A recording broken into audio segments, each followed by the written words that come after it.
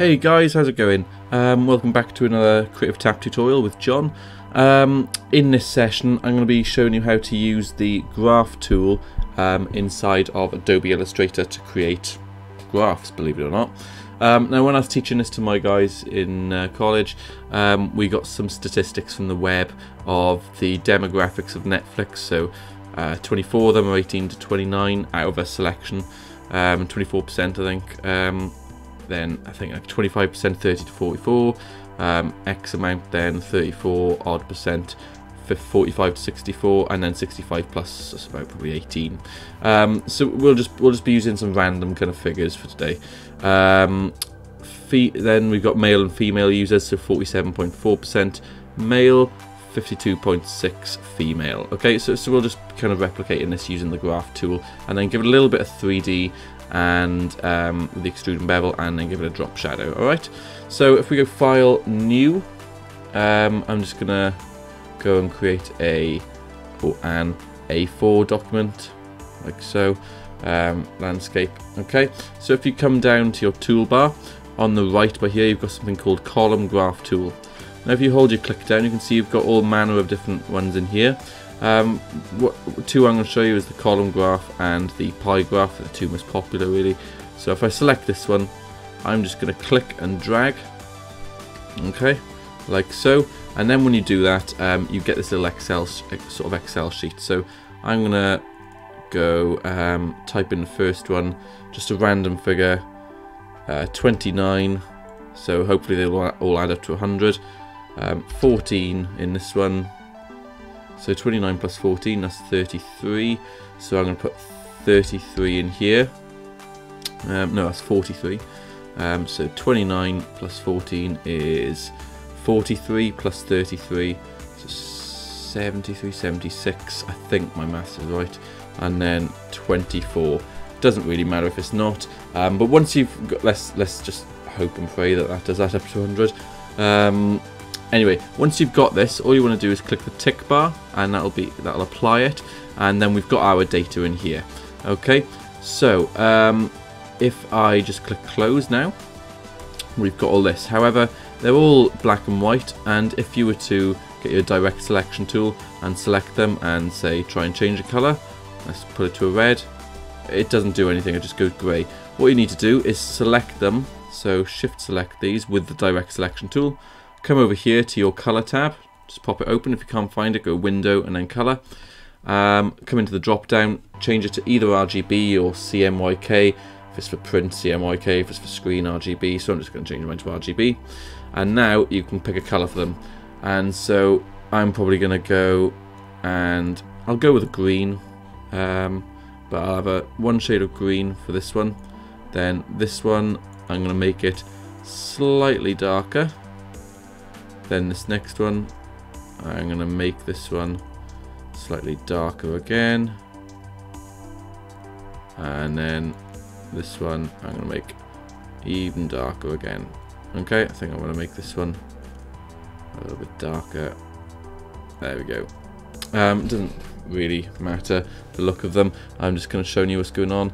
Um, what you want to do then below is get your little text tool. What's this? Maybe 29 so I'm going to put 29 there. You can put people or you can you can write whatever you want. Um, but I'm just going to come here. I think I put 14 here. So 4, ooh, 15. So 14. Let's get that. Move that down into place. Um, then get it again. I think this must be. I think this is 33, wasn't it? 33. And you can be more specific when you're writing yours, but then I think we were left with, was it 24? Doesn't really matter, but we'll just grab this and pull it into line. Okay, um, let's just try and line them up a little bit more. Pudge that over a bit, pull this one over a few, and then pull this one over. Okay, right. So we've got this. Um, the way we're going to kind of make it look a little bit better is by getting our direct selection tool, shift selecting all of these columns. If we then go to effect, then 3D extrude and bevel. Um, I'm going to zero out this one by here and I think I'll go minus 6. You, you can kind of um, you can kind of pull it round like like so. Um, so I'm going to go, if you want, but I'm going to go 6 and then minus 6. And I just know that those are the settings that I've used before and I, qu I quite like them. Um, you can have a look by previewing it. Now they have got a black line around the edge and that's because I've still got my stroke on so it won't actually look like that.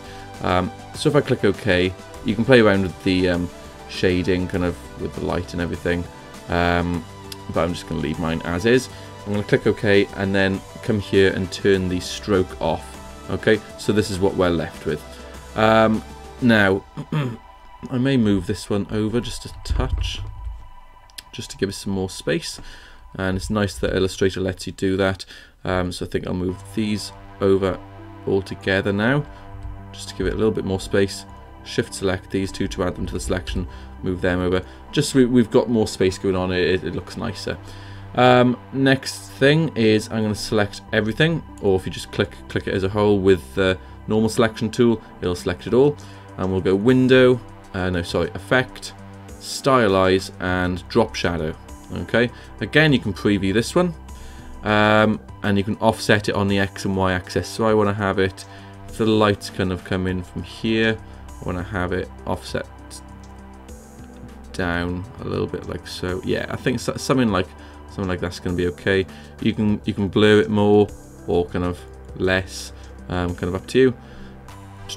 Uh, what I didn't do is um, I didn't select these numbers down the bottom. Um, so what I'm going to do is set this to 3, 75 multiply, click OK. And I'm going to do the same for these now.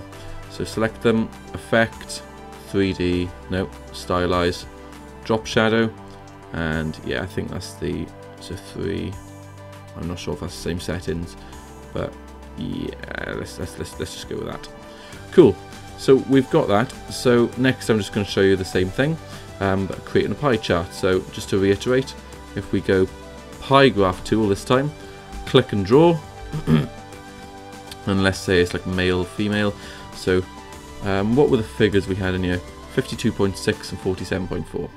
Okay, so 52.6 and 40 47.4 okay so click there and then you've got this so the same again highlight them highlight um, both come to the color go RGB so we can go like so and turn them a different color so if we click the color here there we go ah so it's not doing it RGB because we were on the stroke we were that's why so we'll make this one a slightly darker shade of blue. So we've got some difference there.